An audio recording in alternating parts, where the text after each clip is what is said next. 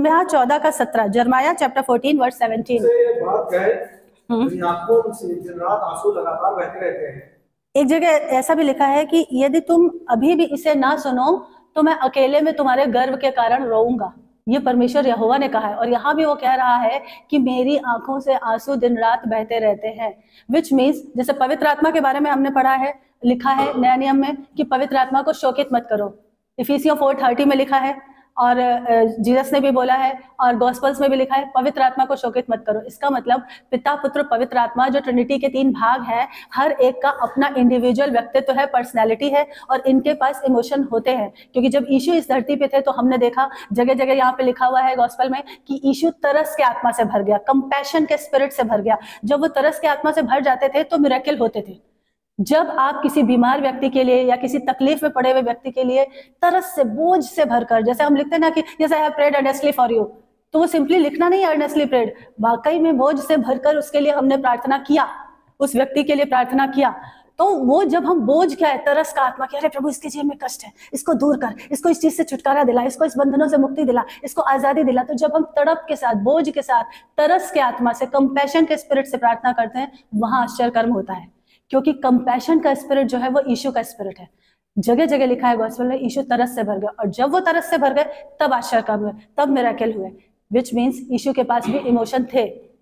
दूसरी जगह, एक जगह लिखा है, एक ही जगह ऐसा लिखा है कि ईशु गुस्से से भर गए, क्योंकि उन्होंने पिता के भवन को डाकुओं की खो बना दिया व्यापार शाला बना दिया, वहाँ पे बिज़नेस हो रहा है। गरीबों को लूटने के लिए इतने की मुर्गी जो दान में चढ़ाई जानी थी, वो इतने की बेच रहे हैं। इतना का कबूतर जो बिकना था, वो बेचारे जो, जिनके पास सामर्थ्य नहीं है, वो इतने का बेच रहे हैं। विच मीन्स लूट रहे हैं मजबूर लोगों को, क्योंकि व्यवस्था के हिसाब से उस समय नियम पूरे किए जाने, चढ़ावा चढ़ाया जाना होता था। इसलिए इशू को गुस्सा आया और उन्होंने वो चौकियाँ बेचने वालों की सब जो सामान था, वो उलट दिया था। विच मीन्स ईशु के पास करेक्शन का स्पिरिट था, गुस्से का आत्मा भी था कि जब वो गलत होते देखते थे तो एक होली एंगर उनके अंदर आता था। इसी तरह से पवित्र आत्मा भी है। पवित्र आत्मा का क्योंकि हमने पढ़ा है व्यक्ति तो बहुत जेंटल है। पवित्र आत्मा कभी ज़ोर ज़बरदस्ती नहीं करता है। अगर आप कभी देखना, कभी भी आप गलती करोगे, हो सकता है कई बार हम गलती करते हैं और हमें लगता भी नहीं है कि वो गलती है। हम बस यूँ ही कर देते हैं।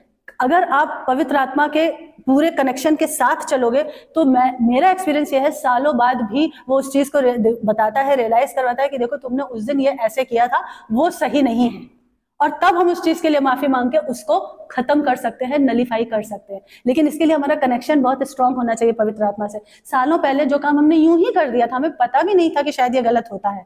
अनजाने में कर दिया था। जब हम उद्धार पाते हैं, जब हम मसीह में आते हैं, जब हम वचन में और पवित्र आत्मा की स्टिल स्मॉल वॉइस धीमी आवाज़ सुनने में जब हम बढ़ते हैं, तब पवित्र आत्मा कई बार मेरा एक्सपीरियंस ये है कि सालों पुरानी बात भी याद दिला के बताता है कि देखो, उस दिन ये किया था, वो गलत था, नहीं करना था। तब हम उसके लिए हमल होकर माफ़ी मांगते हैं और हमारे वो पाप क्षमा हो जाते हैं। उससे होता क्या है फाइनली बैरी को फिर दोष लगाने का मौका खत्म हो जाता है। पवित्र आत्मा हमको कोई दोषी ठहराने के लिए नहीं याद दिलाता, इसलिए दिलाता ताकि शैतान को मौका ना मिले, क्योंकि फिर पिता यह कहेगा, मेरे बच्चे ने तो माफ़ी मांग ली।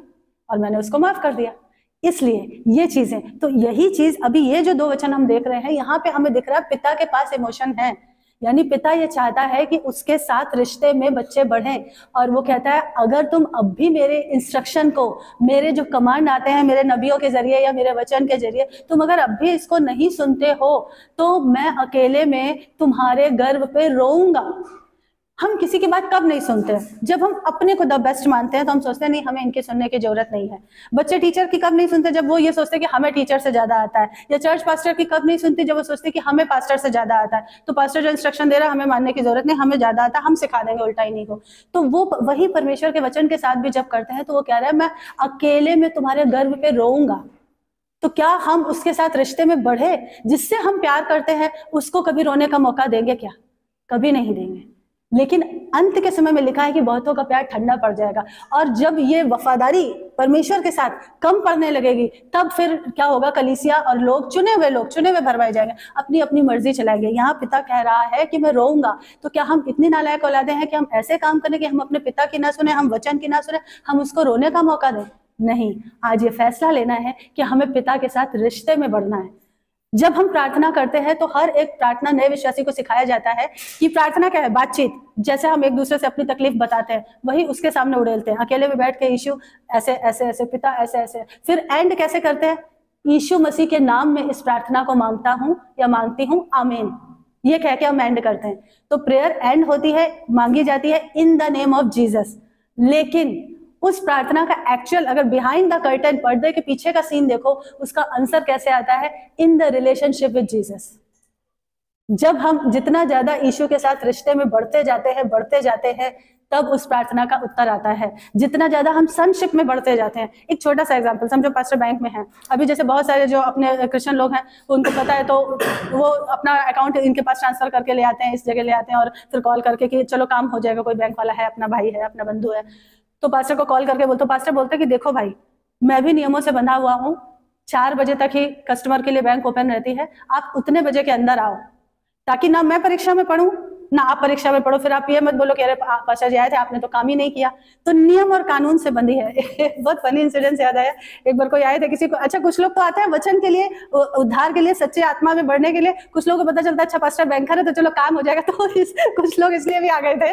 तो बहुत पहले की बात है, बहुत पुरानी बात है। नया नया जब चर्च आया था तो अब उनको क्या था कि पता चला बैंक में है तो चर्च आना शुरू हो गए। और फिर बाद में कहते थे पास्टर जी लोन पास कराना, ये पास कराना। पास्टर ने बोला, देखो एसबीआई में सबसे ज़्यादा डॉक्यूमेंट्स लगते हैं। और मैं नियमों से बंधा हुआ हूँ। और तो जब उनके कागज़ देखे तो कागज़ उनके एक भी पूरे नहीं थे। तो पास्टर ने कहा, भाई, मैं इसमें खुद भी घुस जाऊँ तो कुछ नहीं कर सकता। क्योंकि मेरे ऊपर भी अथॉरिटी है, मैं नियमों से बंधा हुआ हूँ। तो फिर वो चले गए क्योंकि उनको लगा कि मेरा काम नहीं बन रहा है। उनको अनंत जीवन से मतलब नहीं था। तो वही पास्टर बोलते कि, भाई, नियम कानून के अंतर्गत आओ।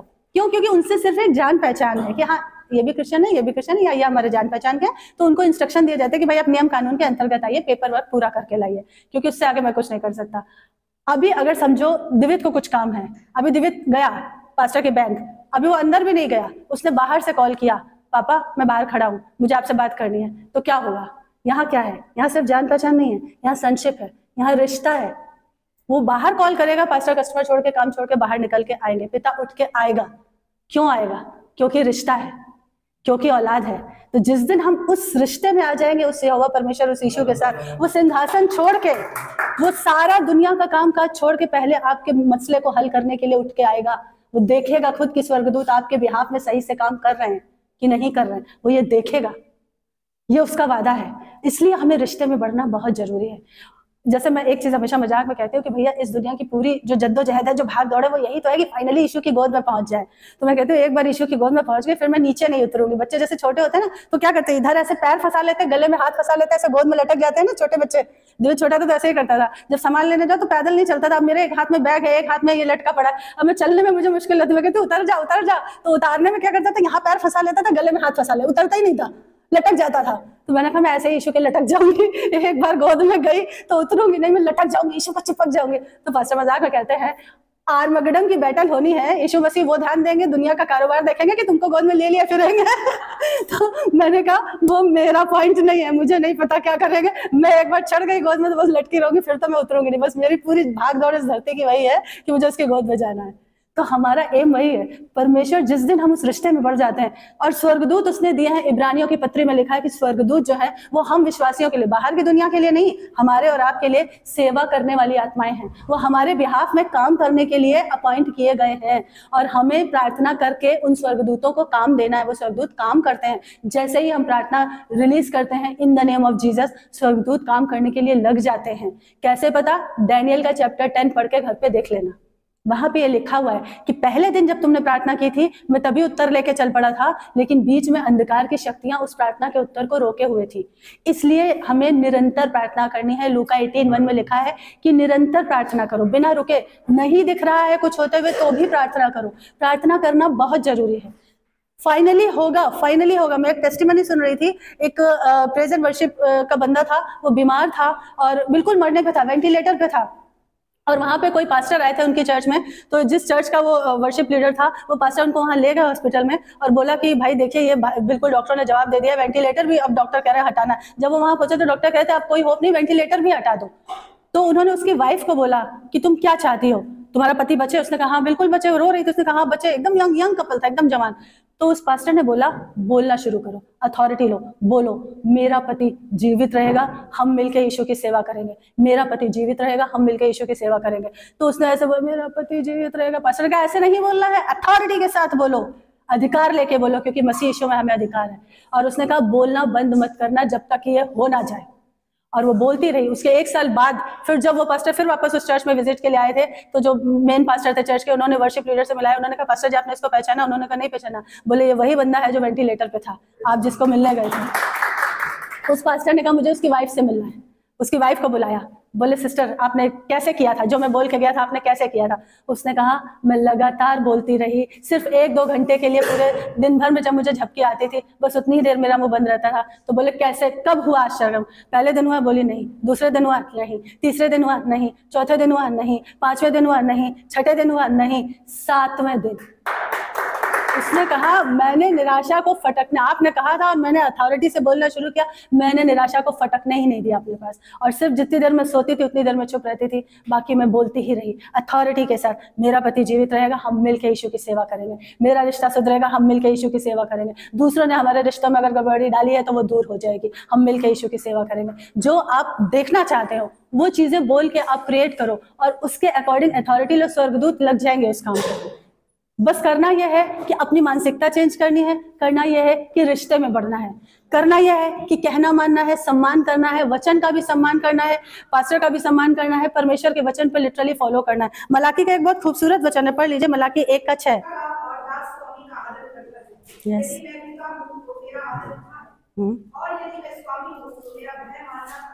हम्म।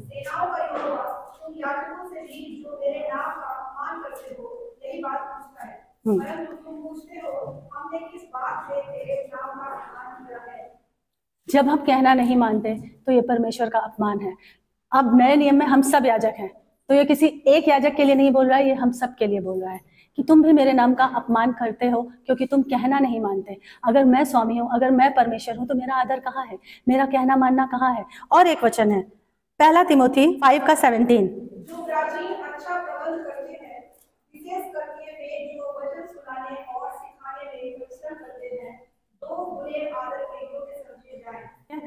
सेम यही चीज़ पहला थेसलोनिके उसके फिफ्थ चैप्टर ट्वेल्थ और थर्टीन वर्स में भी सेम यही चीज़ लिखी हुई है कि जो रात दिन आपके साथ मेहनत करते हैं, आपको वचन सिखाते हैं, आप कम से कम उनका आदर करो। आदर कैसे करना है? हमें जंडाइल की तरह पैर नहीं छूने क्योंकि कोई भी आत्मा इस योग्य नहीं है कि हम उसके पैर छुए, कोई इस योग्य नहीं होता है। सिर्फ़ परमेश्वर ही इस योग्य है। हमें कहना मानना है। हम अपना आदर कैसे प्रकट कर सकते हैं? परमेश्वर के प्रति आदर कैसे प्रकट कर सकते हैं? कहना मान के। सेवक के प्रति आदर कैसे प्रकट कर सकते हैं? कहना मान के। जब हम कहना मानते हैं, तब उसको भी पता चलता है कि हाँ हम अब उसके साथ, परमेश्वर के साथ रिश्ते में बढ़ रहे हैं। रिश्ते में मज़बूत हो रहे हैं। उसका कहना मान रहे कहना मानना ही सम्मान। बच्चे कहना मानते हैं, तभी तो हम समझते हैं कि हाँ बच्चे सम्मान कर रहे हैं। नहीं तो हम बोलते बड़ा बदमाशा कहना नहीं मानता है। और फिर कुटाई भी होती है। जब बचपन में छोटे होते हैं, कहना नहीं मानते तो कुटते भी हैं। तो कहाँ? कहना मानना ही आपका सम्मान प्रकट करना है। कहना मानना ही आपका रिश्ते में बढ़ना है। अभी फॉर एग्ज़ाम्पल कहा गया कि कुछ मानसिकता या मेंटेलिटी ऐसी होती है जिसे हमें छोड़ देना चाहिए। उनमें से एक बहुत शैतान का दिया हुआ जाल होता है जिसमें जेंटाइल फंसे होते हैं और जब हम उद्धार पाके प्रभु में आ जाते हैं, तब भी हमने देखा है इस आत्मा से लोग आज़ाद नहीं हो पाते हैं। वो है आत्म तरस का आत्मा। कितनी बार ये सिखाया जाता है कि आत्म तरस शैतान का धोखा है, इस आत्मा की मानसिकता से बाहर निकलो।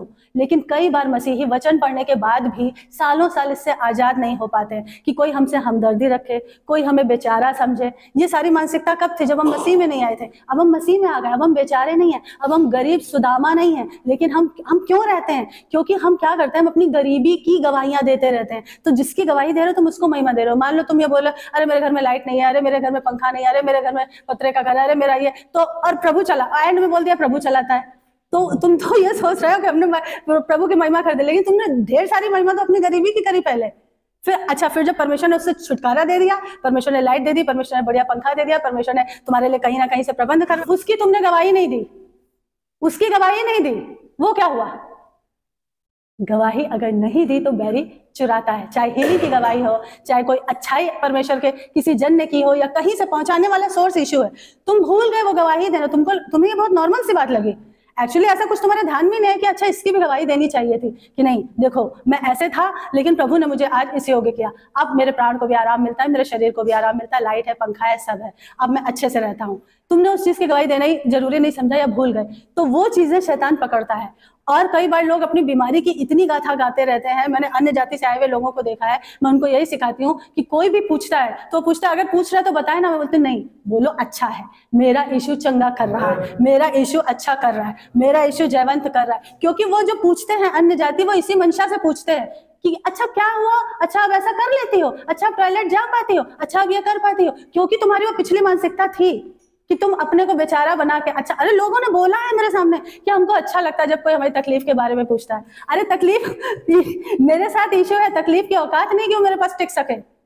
ऐसा वचन बताओ उनको, तुम्हारी हर बार मुँह से गवाही ऐसी निकलनी चाहिए कि तुम्हारे इशू की महिमा हो। तुम सब कुछ बोल के फिर तकलीफ़ बताते हो, जितने तकलीफ़ ज़्यादा बोलते हो, एक लाइन इशू की बोल देते हो, उससे इशू की महिमा नहीं होती। इस मानसिकता से हमें ऊपर आना है। दूसरी चीज़, हमें जो करना है, वो परमेश्वर के लिए करना है।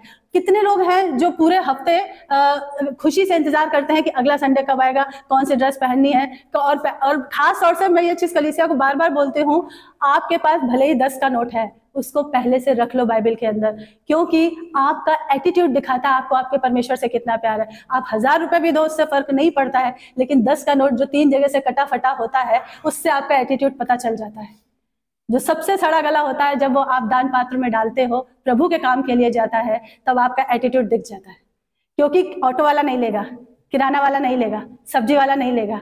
तो जिस स्वर्गीय परमेश्वर से सारी आशीषें चाहिए, उसके भवन में वो डाल जाते हो। हमारे पास फोटोएँ हैं। हमने फ़ोटो खींच के रखा इतना दिल जला मेरा कि मैंने पास्टर से कहा इन नोटों की तो मैं फ़ोटो खींचूँगी और रखूँगी सबूत के तौर पर कलीसिया अपनी मेंटेलिटी सुधारो।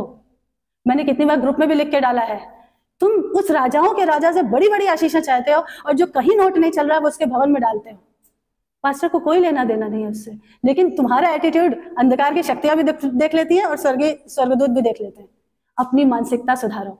क्योंकि तुम उस रा, राजा के सामने अभी इसी मलाकी में आगे लिखा है कि तुम अंधे पशु को मेरे लिए बलिदान करने के लिए लाते हो लंगड़े पशु को मेरे लिए बलिदान करने के लिए लाते हो। उस समय पशु चढ़ाए जाते थे आज नोट है। तो वो कहता है अपने हाकिम के सामने ऐसी भेंट ले जाओ क्या वो स्वीकार करेगा?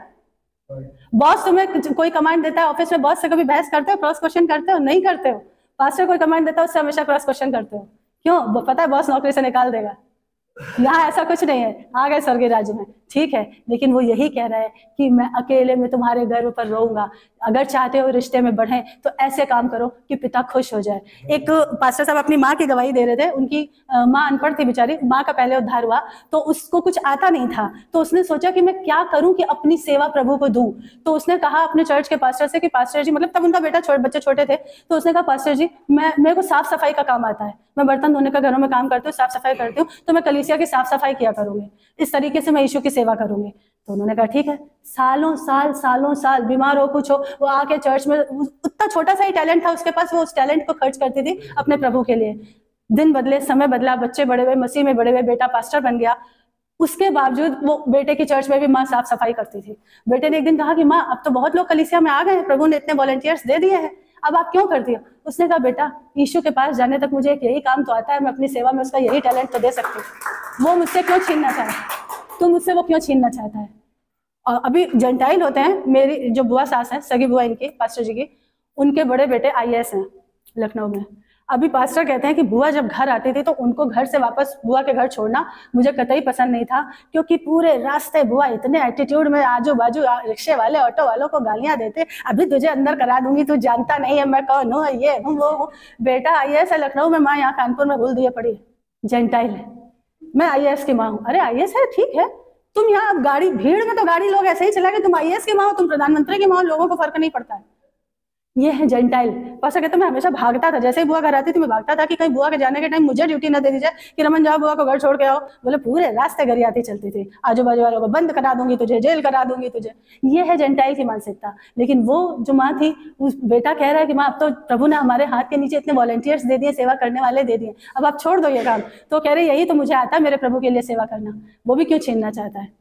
मतलब जो कर रहे हैं इस मानसिकता से कि मैं प्रभु के लिए दे रही हूँ प्रभु के लिए दे रहा हूँ। ये छोटा सा टैलेंट दुनिया को लग रहा है ये बहुत छोटी सी चीज़ है पर परमेश्वर के खाते में बहुत बड़ी बात दर्ज हो रही है। वहाँ तुम्हारे लिए कितना और सिर्फ़ वहाँ ही नहीं ये मत सोचो कि इस धरती पे काम चलाओ जी के जाएँगे वहीं मिलेगा। इस धरती पे भी विजेता का जीवन है। अगर आप कहना मानोगे तो परमेश्वर की योजना का हिस्सा बनोगे। अगर कहना नहीं मानोगे तो ऑटोमेटिक शैतान की योजना का हिस्सा बन जाओगे। आपको पता भी नहीं चलेगा।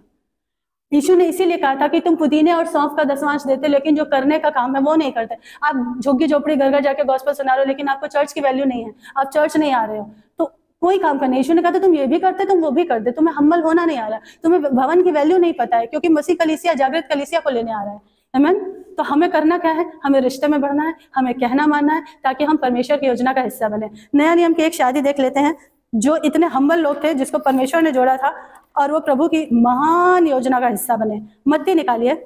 हर विश्वासी के लिए चर्च एक ऑक्सीजन सिलेंडर की तरह होता है।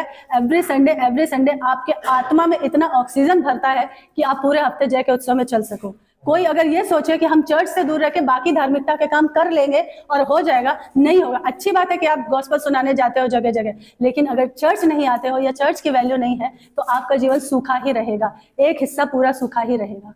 मत्ती का पहला चैप्टर उसका 18 से 21 वचन पढ़िए। यीशु मसीह का जन्म इस प्रकार से हुआ कि जब उसकी माता मरियम की मंगनी यीशु के साथ हो गई तो उनके इकट्ठा होने से पहले ही वो पवित्र आत्मा की ओर से प्रगति पाई गई। ये जो शादी थी ये परमेश्वर यहोवा की मर्ज़ी में अपॉइंट की गई थी। और ये दोनों इतने हम्बल और इतने धर्मी इतने दीन थे कि परमेश्वर ने चुना था। इस शादी के लिए। और दोनों आज्ञाकारी थे। परमेश्वर को पता था, यहोवा को पता था कि दोनों में से कोई भी मेरा कहना नहीं टालेगा। और वो बढ़ने के लिए कुछ आत्मिक नियम होते हैं, उनको फॉलो करना पड़ता है। वो नियम फॉलो करने पड़ते हैं। यहाँ पे ये कहना मानने वाले दोनों बच्चे यहोवा के थे। यहोवा को पता था उस वक्त का जो नियम था, अगर कुंवारी गर्भवती होगी, उसको पत्थर मार मार के मार डालेंगे। यहूदी समाज के नियम इतने कड़े थे। फिर भी उसको पता था कि मरियम इतनी ज़्यादा आज्ञाकारी है कि वो अपनी मौत की परवाह किए बिना कहेगी कि देख, मैं प्रभु की दासी हूँ, मुझे तेरे वचन के अनुसार हो। यूसुफ इतना धर्मी है कि वो लिखा है कि वो मरियम पे दोष लगाना नहीं चाहता था। उसके पास शक का आत्मा नहीं था, उसके पास दोष लगाने का आत्मा नहीं था, उसके पास ईगो नहीं था। उसने क्या सोचा कि चुपचाप छोड़ दूँगा ताकि बदनामी ना हो। स्टिल उसको थोड़ा डाउट आ रहा है कि अरे ऐसे कैसे हो गया? अभी तो हमारी सिर्फ़ एंगेजमेंट हुई है। लेकिन फिर भी वो मरियम की बदनामी नहीं चाहता। एक धर्मी व्यक्ति, परमेश्वर की मर्ज़ी में चलने वाला। इसलिए, क्योंकि वो दोनों कहना मानने वाले थे, इसलिए परमेश्वर की इतनी बड़ी डिवाइन प्लानिंग का हिस्सा बने कि उनके घर में, उसके गर्भ से मसीहा आया। बहुत बड़ी डिवाइन प्लानिंग थी, जिसके लिए इन दोनों को चुना गया था। परमेश्वर ने उन दोनों को सर्वश्रेष्ठ योजना के लिए चुना था। दोनों में से कोई भी व्यभिचारी नहीं था। दोनों में से कोई भी अपनी चलाने वाला नहीं था। दोनों में से कोई भी घमंडी नहीं था। दोनों में से कोई भी दोष लगाने वाला नहीं था। दोनों ही हम्बल थे। विनम्र आत्मा के दो लोगों को जब मिलाया, परमेश्वर ने एक छत के नीचे, तब ईशु की परवरिश की ज़िम्मेदारी सौंपी। पैदा नहीं हुआ। पैदा पवित्र आत्मा से हुआ, पर ज़िम्मेदारी सौंपी, उनको परवरिश की। बहुत बड़ा डिवाइन प्लान था, उस योजना का हिस्सा बने। और जब ये चीज़ें पूरी हो रही थी, हमको और आपको पढ़ने में तो दो मिनट लगते हैं कि हाँ उस डिवाइन योजना का हिस्सा बने यीशु ने हमारे लिए आके फिर बलिदान दिया और हम बचा लिए गए। लेकिन जब ये उस प्रोसेस से गुजर रहे थे, एक कुंवारी गर्भवती हो गई तो स्वर्गदूत कह रहा है यूसुफ कह रहा है, चुपके से छोड़ दूँगा। देखो, परमेश्वर मन की भी बात जानता है। जेंटाइल के मनों की भी जानता है। अभी आगे बताऊँगी जेंटाइल की कैसे जानता है। बाइबल से उदाहरण देके बताऊँगी। और अपने बच्चों के जो विश्वासी हैं, उनके तो मनों की जानता है यूसुफ मन में सोच रहा है, किसी से डिस्कस नहीं किया, परमेश्वर उसको सपने में बना कर रहा है कि नहीं, वो मेरी ओर से है तो उसको अपने पास लेके आ। अब जब लेके आ गए हैं तो आपको क्या लगता है, एक जगह से दूसरी जगह प्रेग्नेंट लेडी यहाँ से वहाँ भागते फिर रही है, इससे बच रहे हैं हेरोदेश से बच रहे हैं, उससे बच रहे हैं, इससे बच रहे हैं, ये क्या आसान काम था? क्या आपको लगता है उनके रिश्ते नातेदारों ने कम ताने मारे होंगे? कि शादी तो हुई नहीं, मंगनी होते ही इनकी बीवी गर्भवती हो गई, अब उसी बीवी को ये लिए लिए फिर रहे क्या यूसुफ ने कम ताने झेले होंगे? मरियम ने तो जो झेला, सो झेला। उस मानसिकता, उस उस सिचुएशन को एक बार सोचो जरा इमेजिन करके कि जब आप परमेश्वर के काम के लिए चुने जाते हो तो उस काम को, उस बात में आगे बढ़ना आसान नहीं है। कदम कदम पे रोकने वाले होंगे। आपके आसपास, आपके अपने ही होंगे। कितने ऐसी चीज़ें जो उन्होंने day by day day to day face की हैं। की है? वो बाइबल में हर चीज़ नहीं लिखी है, पर वो पीछे नहीं हटे। हम पीछे हटने वाले नहीं हैं। हम चुने गए हैं अनंत जीवन का वारिस होने के लिए। हम चुने गए हैं विजेता का जीवन जीने के लिए। तो हो सकता है सिचुएशन हमको ऐसी दिखे कि अरे सुबह इंजेक्शन लगा के आए, दोपहर तक फिर बुखार आ गया। शाम को दवा खाई, सुबह उठे फिर बुखार आ गया। सिचुएशन तो ऐसी दिख रही है कि तुम्हारे तो गले से आवाज़ भी नहीं निकलेगी। लेकिन I have decided to follow Jesus no turning back और जब तुम ये फैसला ले लेते हो और उस फैसले में बढ़ते चले जाते हो, देखते रहना शैतान। रोक तो पाएगा नहीं तो। रोक तो पाएगा नहीं। जो विजन दिया है मेरे पिता ने जिस विजन को दे के भेजा है, उसको तो इस धरती, इस देश में पूरा करके जाऊँगे। वो विजन तो रुकने वाला नहीं है। क्योंकि सच्चाई के आत्मा से जितने ज़्यादा लोगों को आप भर दोगे तो शैतान को पसंद नहीं आता है। वो जो फ्राइडे को बैप्टिज्म हुआ, वो इतने महीनों से बैप्टिज्म रुका हुआ था। वो मैं देख पा रही थी लिटरली मैं पास्टर को कहा, देखो ये कितना बड़ा आत्मिक युद्ध था। वो बार बार पीछे हटती थी बार बार भागती थी हाँ ले लेंगे हाँ ले लेंगे हाँ ले लेंगे। एक आत्मा बपतिस्मा लेने से रोकने के लिए कितना बड़ा आत्मिक युद्ध था। वही दिन, उसी दिन सुबह पास्टर को बुखार आया। सुबह सुबह, वैसे ही वो टैंक में उतरे। क्योंकि परमेश्वर का राज्य, अगर उसका काम करना चुना है तो वो आसान नहीं है। पिछली बार मैंने बोला था, सेवा आसान नहीं है। क्योंकि वो एक आत्मा, उस दिन अगर बैप्टिज्म टल जाता तो आगे पता नहीं कितना टलता। हम कह सकते थे, नहीं भाई पास्टर को बुखार आ गया, अभी रुक जाओ, कल देखते हैं, परसों देखते हैं। नहीं, परमेश्वर ने वो दिन ठहराया, उस दिन हो ही जाना है। वो शैतान की चाल थे। वो सोच रहा था, कैसे तो भी पीछे खींचे? जो परमेश्वर की मर्ज़ी में चलते हैं, वो चलना आसान नहीं है, पर अगर आप चलते रहोगे, एक बड़े डिवाइन प्लान का यहाँ बैठा हर एक व्यक्ति हिस्सा है। एक भी, ये छोटा बच्चा भी मैं कहती हूँ, अगर पहली बार भी, दूसरी बार भी चर्च आया है, ऐसा नहीं है कि इसके जीवन में कोई बड़ा डिवाइन प्लान ना हो। आप यूँ ही बाय मिस्टेक चर्च नहीं आ गए हो, या इस कलीसिया से आप बाय मिस्टेक नहीं जुड़ गए हो। अमित ब्रदर बैंक आए थे, बहुत पहले इनके भाई ने पास्टर की गवाही देखी थी, और वो कोरोना टाइम में, उस टाइम में, और मास्क के अंदर उन्होंने पास्टर को पहचान लिया, उन्होंने आके बोला प्रेस द लॉर्ड तो बोले, मैं सोचा कि कौन बंदा मुझे प्रेस द लॉर्ड कर रहा है प्रेस द लॉर्ड सर तो उन्होंने बोला, सर, आपकी गवाही देखी थी, ऐसे ऐसे ऐसे ही कलीसिया से जुड़े। ये यूँ ही नहीं था। हमें लगता है चीज़ें यूँ ही हो रही हैं। यूँ ही नहीं है। एक डिवाइन प्लान का हिस्सा है। सब कुछ यूँ ही नहीं होता। बाइबल में कुछ भी बाय चांस नहीं होता है। बाइबल में कुछ भी यूँ ही नहीं होता। सब कुछ पहले से लिखा गया है। एक एक चीज़ उसके अनुसार घट रही है। आज जितने यहाँ जुड़े हैं, जितने यहाँ बैठे हैं सिस्टर कितने आप 2020 में शायद आई थी, है ना? 19 में। उसके बाद अभी वापस आए आप, है ना? तो क्या होता है? जब किसी ने चिंगारी मसीह के प्रेम की लगाई थी, वो ठीक से खोल नहीं पाई। फॉर द टाइमिंग आपके लिए प्रार्थना होती रही होती रही होती रही। एक सिचुएशन ऐसी आई कि हाँ अब वो चिंगारी बड़ी हुई, अब मैं उससे दूसरों को जलाऊँगी। अब मैं उनके जीवन में भी रोशनी भी खेलूँगी, अब मैं आऊँगी। एक सिस्टर ने एक बार घर में मेरे आके दवाई दी थी कहीं और की थी कि उनको जब हम लोग स्टार्टिंग में बताया करते थे, मसीह में लाते थे, हम उनको घसीट के लाते थे चर्च में, वो भाग जाती थी। दुनिया में, दुनिया के मज़े में लिटरली गलत मज़े में भाग जाती थी। बहुत गलत। और हम उनको फिर घसीट घसीट के, क्योंकि पापी को खुदा के भवन में जगह नहीं दोगे तो कहाँ दोगे? लोगों के ऐसे ऐसे गवाही शराब पी के चर्च में बैठा और उनका उद्धार हुआ है। इसलिए पाप से नफरत करो, पापी से मत करो। उसको खुदा का भवन दिखाओ। और उन्होंने आके गवाही दी कि इतनी बार आपने समझाया, इतनी बार आप मुझे खींच खींच के इशू में लाती रही। फाइनली हुआ क्या? इतनी बीमार हुई, इतनी बीमार हुई, इतनी पेट की काट चाट यहाँ कटाई, यहाँ चढ़ाई। इतना ज़्यादा उन्होंने बताया कि बोली कि बस अब मरे कि तब मरे। बोली, तब मैंने ईशु के प्यार को वहाँ समझा। मैंने कहा, अगर आप आईसीयू में नहीं जाती तो आप समझ नहीं पाती ईशु के प्यार को। तो बेहतर है कि नौबत आने से पहले हम समझ लें। हर एक जो यहाँ बैठा है परमेश्वर की डिवाइन योजना का हिस्सा है। और परमेश्वर उसके मन की बात जान के कह रहा है कि अपनी पत्नी को अपने घर ले आओ। और साथ साथ चलो, वो भाग रहा है तो वो भी भाग रही क्या यूसुफ ने कभी मरियम को कहा होगा? अरे कहाँ से तुम्हारे घर में ये आ गया परमेश्वर का? पता नहीं क्या आ गया, लिए फिर रहे, तुम्हारे साथ मुझे भी भागना पड़ रहा है। तुम्हारे साथ मैं भी दर दर की ठोकरे खा रहा हूँ। क्या कभी उसने ऐसा कहा होगा? मुझे नहीं लगता। क्योंकि जो यूसुफ का कैरेक्टर दिखता है कि बहुत ही आज्ञाकारी था, कहना मानने वाला था, हम्बल था, उंगली नहीं उठाता था, दोष नहीं लगाता था। परमेश्वर, अभी मैंने बोला जेंटाइल को भी जानता है मनो को। दानियल का चैप्टर फोर खोलिए, उसका चौबीसवां और पच्चीसवां वचन पढ़िए जरा। कंफर्ट जोन में रह के परमेश्वर की योजना का हिस्सा कभी नहीं बन पाओगे।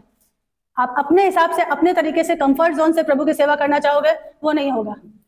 नबुकत नेजर राजा को परमेश्वर यहोवा ने इस्तेमाल किया था इसराइलियों को सबक सिखाने के लिए। अभी हम लोग जब फैमिली प्रेयर में शाम को पढ़ते हैं तो अभी हमारा ये चल रहा है ना?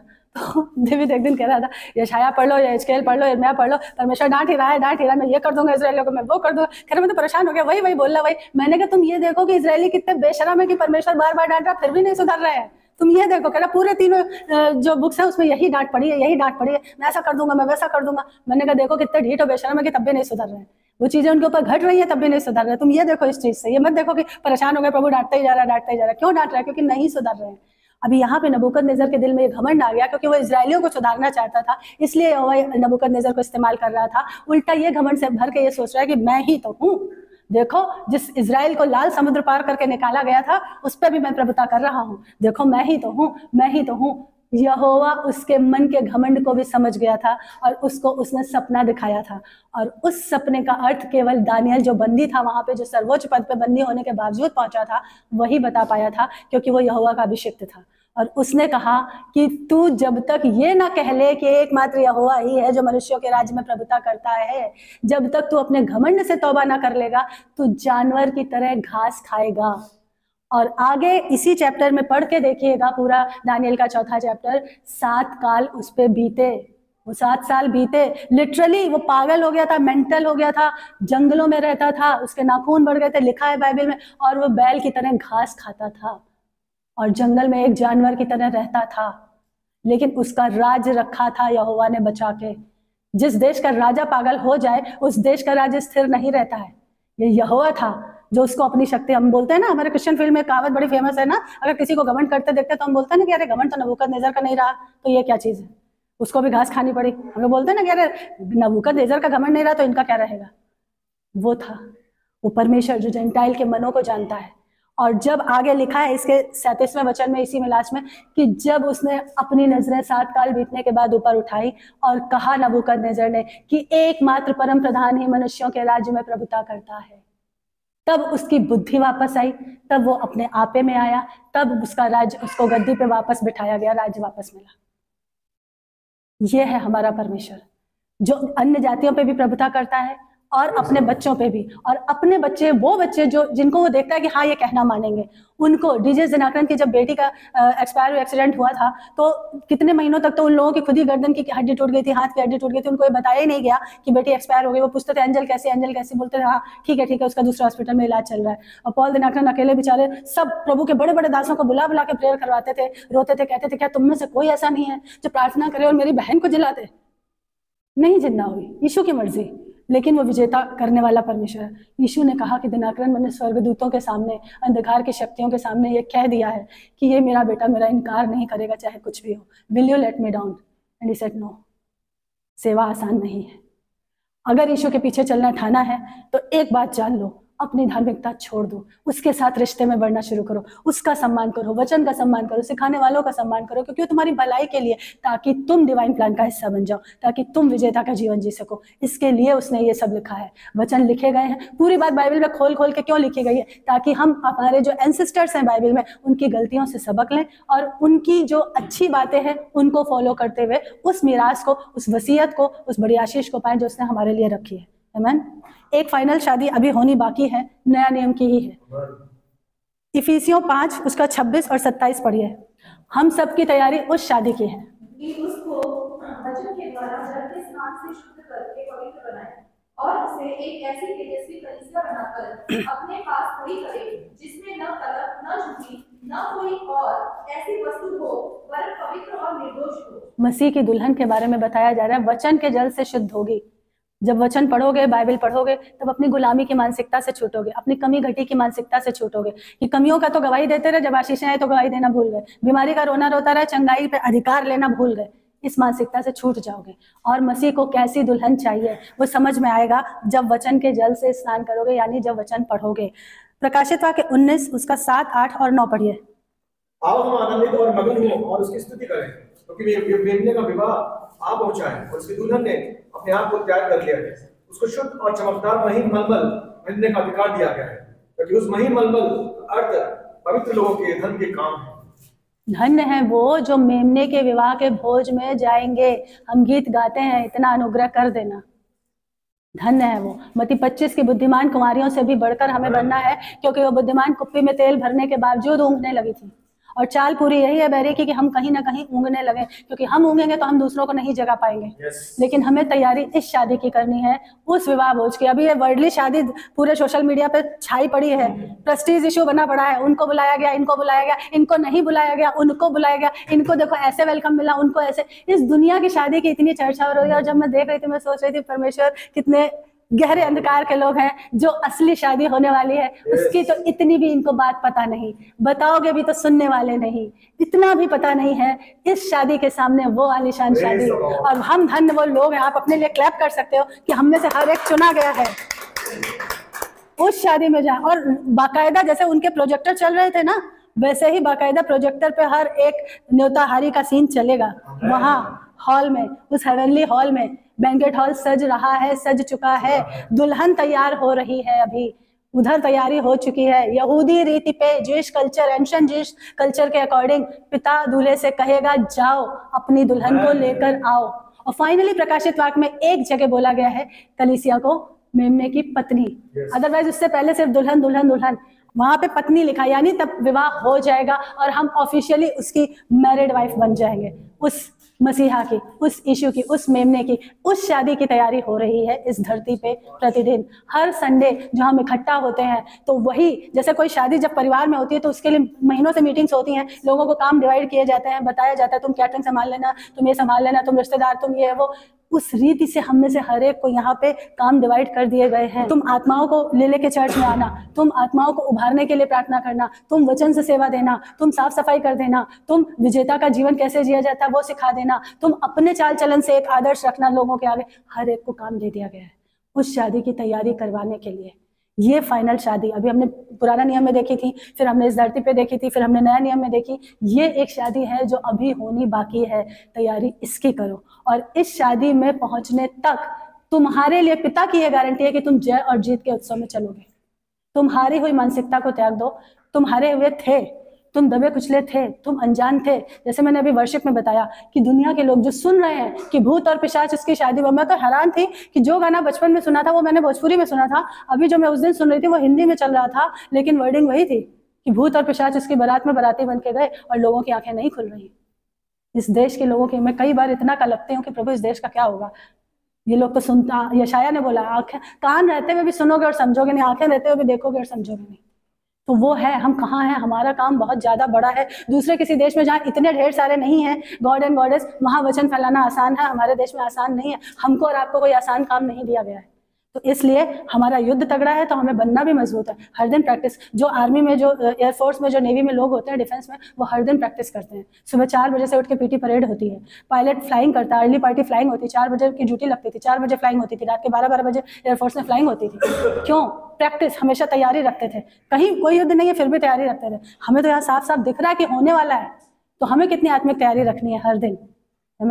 हमें कितनी ज़्यादा तैयारी रखनी है ताकि उसके डिवाइन प्लान का हिस्सा बने उसकी शादी में शामिल हो और इस धरती पर रहते रहते एक विजेता का जीवन जिए। न बीमारी से हारना है न तंत्र मंत्र से हारना है न दुख तकलीफ़ गरीबी से हारना है क्योंकि हमारी हारी हुई मानसिकता को हमने क्रूस पर चढ़ा दिया अब हम हारे हुए नहीं हैं अब हम दबे कुचले नहीं हैं अब हम विजेता हैं।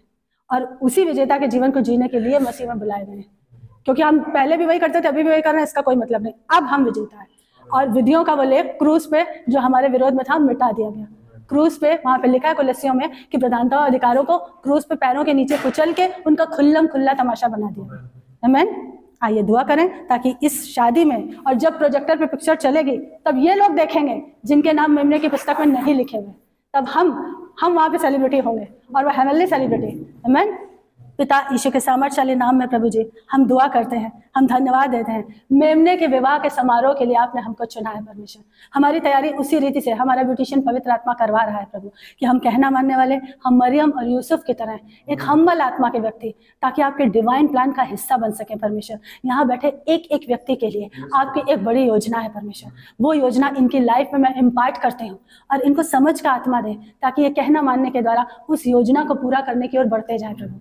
यीशु के सामर्थ्य नाम में मैं दुआ मांगती हूँ परमेश्वर। एक भी व्यक्ति जितने यहाँ बैठे हैं, मसीह में अपनी उस मिरास को ना खोएँ, अपनी उस वसीयत, अपने उस क्राउन को, उस मुकुट को ना खोएँ। प्रभु हमें से हर एक को ऐसा अनुग्रह देना।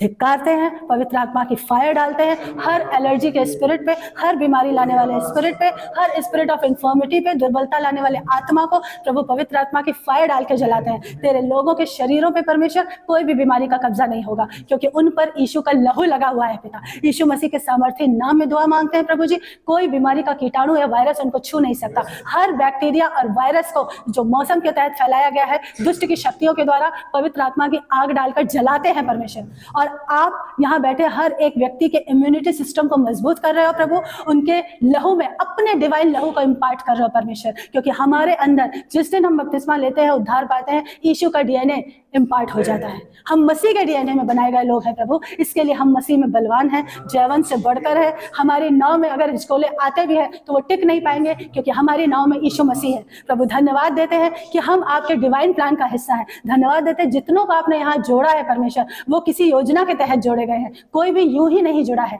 ये आपके डिवाइन प्लान के अंतर्गत हुआ है प्रभु। इसके लिए हम धन्यवाद देते हैं परमेश्वर। धन्यवाद देते हैं। आगे आने वाले दिनों में परमेश्वर हम इस कलीसिया की बढ़ोतरी को देखेंगे तेरे लोगों के जीवन में भरपूरी को देखेंगे उनके अच्छे स्वास्थ्य को देखेंगे और हम विश्वास के आत्मा से इन आशीषों को रिसीव करते हैं। इनके बैंक बैलेंस और स्टोर हाउस पे आपका लहू लगाते हैं। इनकी सेहत को आपके लहू में सील करते हैं परमेश्वर। और प्रभु जी, कोई भी बैरी का चुभाया हुआ तीर इनके शरीरों में लगा नहीं रहेगा। यीशु के नाम से हर एक चंगा, भला और आज़ाद है। इनके घरों में शांति, इनके बैंक बैलेंस में भरपूरी, इनके स्टोर हाउस में भरपूरी। यीशु के नाम से मांगते हैं। इनके आने में आशीष, इनके जाने में आशीष। यीशु के नाम से मांगते हैं परमेश्वर। और धन्यवाद देते हैं प्रभु कि जो भी इनके बिहाफ में काम करते हैं, इनके साथ काम करते हैं, इनके अंडर में काम करते हैं, चाहे वो मेड सर्वेंट्स हो, चाहे वो ऑफ़िस में कोई इनके अंडर में हो या बिज़नेस के पार्टनर्स हो, परमेश्वर वो सब पीठ के पीछे भी हमारे लिए वफादार रहेंगे।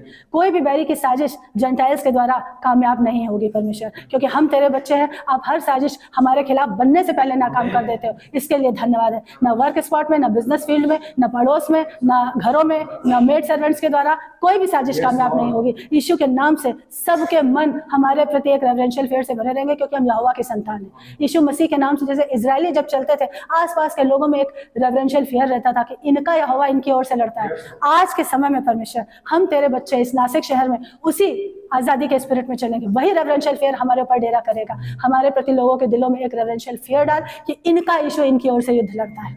यीशु मसीह के नाम में प्रभु हमारी भी बुद्धि ठिकाने रहे कि जो कहना मानना जो करना जो वचन का पालन करना ताकि पिता की आँख से आँसू ना बहे।